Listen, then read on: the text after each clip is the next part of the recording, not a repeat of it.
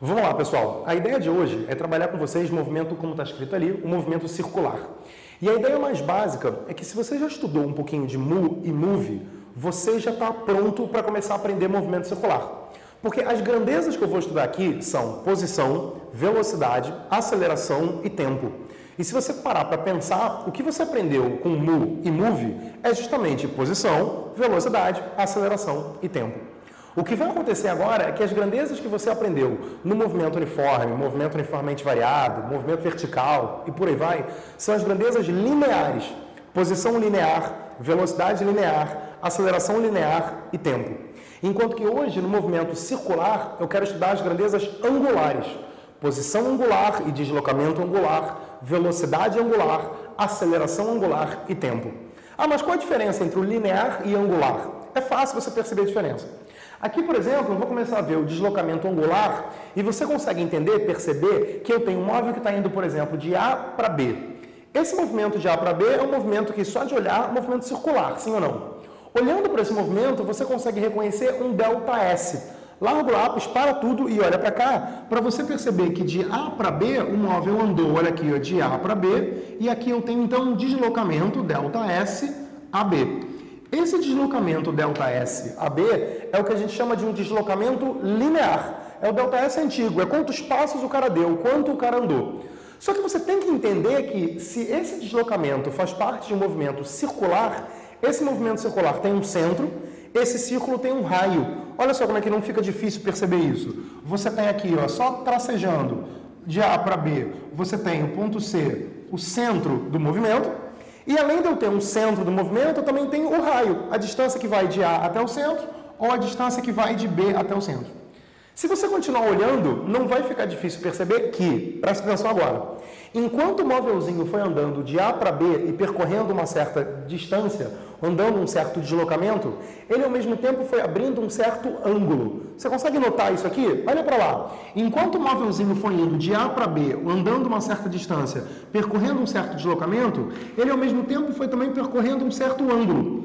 O ângulo que ele percorreu ao ir de A para B é o que eu vou chamar de teta. Poderia chamar de delta teta também, o ângulo ou a variação do ângulo. É isso que eu preciso que você de cara entenda, que simultaneamente, ao mesmo tempo que ele percorreu uma certa distância em metros, esse cara também abriu um certo ângulo que eu posso medir em graus ou radianos. A distância em metros que esse cara percorreu é o deslocamento linear dele. E ao longo desse deslocamento, o quanto o ângulo foi aumentando é o deslocamento angular desse cara.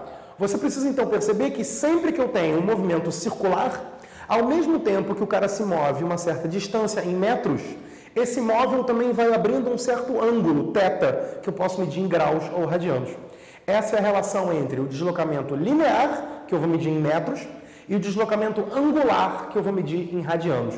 E se você já entendeu que tem uma relação lá entre metros e, e, e os graus ou os radianos, o ângulo, eu agora posso transformar isso em equações. Preste atenção. Você provavelmente deve lembrar que quando o cara anda um círculo completo, o comprimento desse círculo é 2πr. Lembra disso ou não lembra? Se o comprimento de um círculo é 2πr, você tem que entender que isso tem uma relação entre raio e ângulo. Porque 2π é um círculo completo, 2π radianos equivalem a 360 graus, e r é o raio.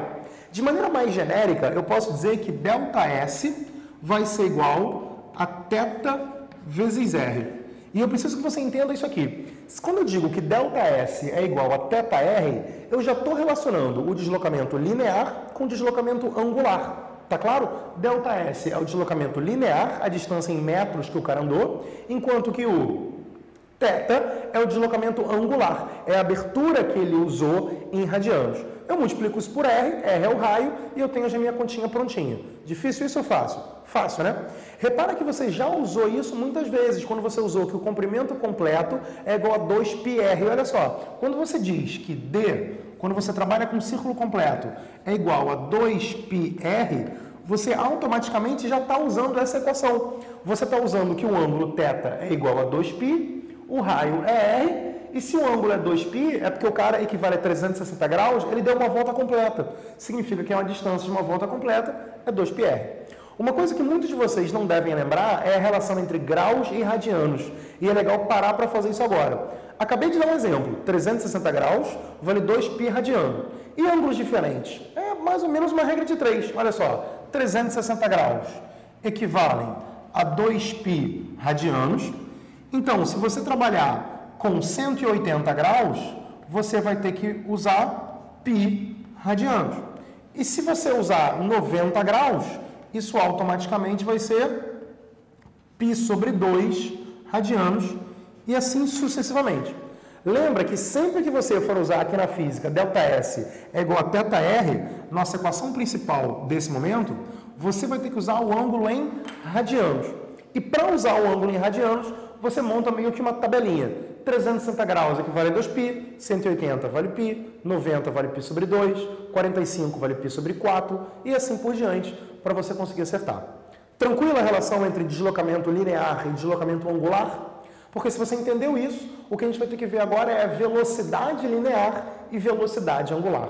Acompanha comigo.